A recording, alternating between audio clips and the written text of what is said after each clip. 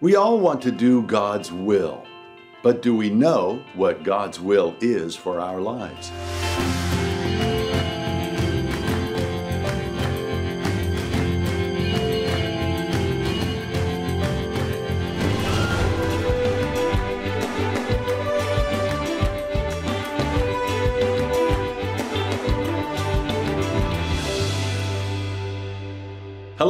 And welcome back to cLife TV. I'm Daryl Chesser.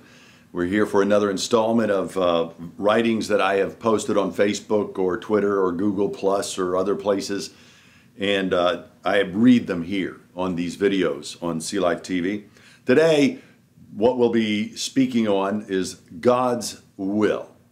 But first, before we get started, I wanted to mention uh, our ministry website, clifeministries.org. If I if, if I believe I'm I think it's right here.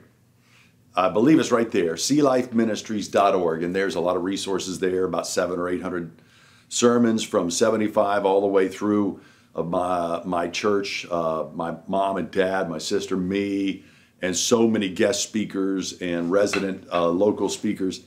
Uh, really a great resource on the media page, the audio archive, and as well as a link to the cLife TV archive, which has 110 videos or more of our teaching, like this one, in uh, from not just me, but from my my mom, my sister, and, and others. So go try that out today. So let's turn our attention to God's will. Today, we all want to know God's will, don't we?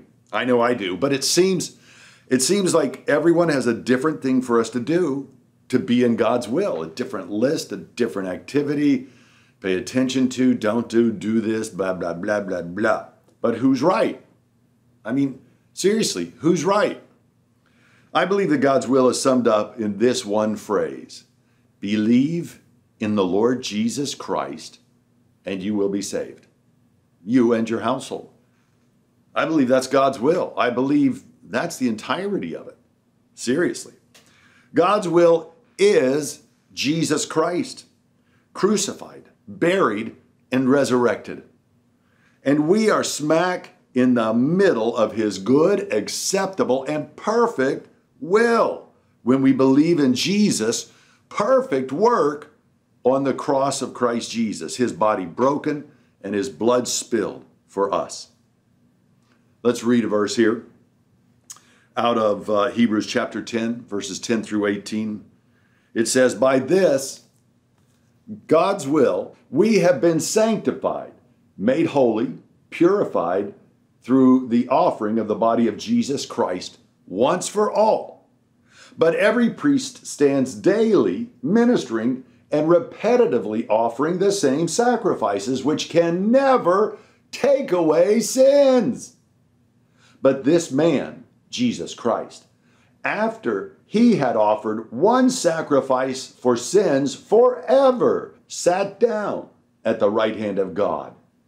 Since that time, he has been waiting for his enemies to be made his footstool. For by one offering, he, Jesus Christ, has forever perfected those who are sanctified. The Holy Spirit also witnesses to us about this, for after saying, this is the covenant that I will make with them after those days, says the Lord. I will put my laws into their hearts, and in their minds I will write them.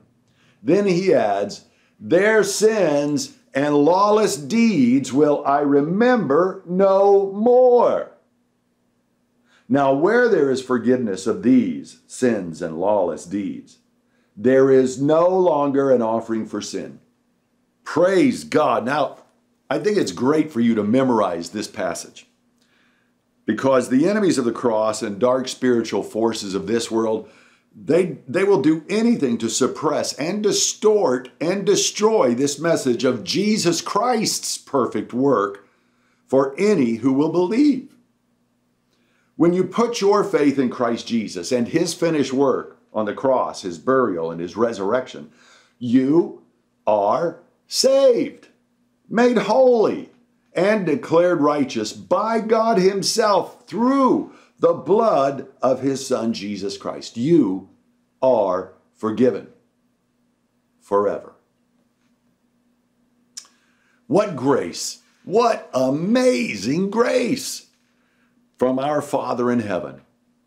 Because our sins are forgiven, we can walk out of sickness into health and wholeness, out of debt into all our needs met by His riches, God's riches in glory by Christ Jesus, and out of sin consciousness and into grace consciousness, favor. God's not mad at you anymore. You are forgiven. You are cleansed by nothing you've done, by not your behavior, not even your attitude, but because you said, I need a Savior. And I believe what God said about His Son, Jesus Christ, that He is the Lamb slain. And if we'll put our faith in Him, that He came to die for the whole world, that we would be saved. Confess that He is Lord and say, This is it, man. I am born again. All of these things now in this atonement of Jesus' blood in his broken body have set me free. If we are conscious of our sins and not of God's free gift, his grace poured out, his eternal life, and his approval of sonship by faith in Christ Jesus, the enemy will try to steal, to kill, and destroy what Christ defeated and obliterated on that cross for us. And, and the enemy will try to bring us back into the bondage and sin under law. Jesus died for us. He suffered and died for the sins of the whole world because that is why he came. That is why God sent him. God so loved the world that he sent Jesus to be born a human to have a flesh body so that he would suffer and die for our flesh bodies. He became human because flesh had to pay for flesh. And his perfect, precious blood for our human blood, our life, our souls, our eternity, for salvation and redemption because of God's free gift of grace, salvation and righteousness. We are forgiven once, forever, and for all who call on the name of the Lord Jesus Christ. God really is that good. He really is that good. And Jesus Christ is Lord.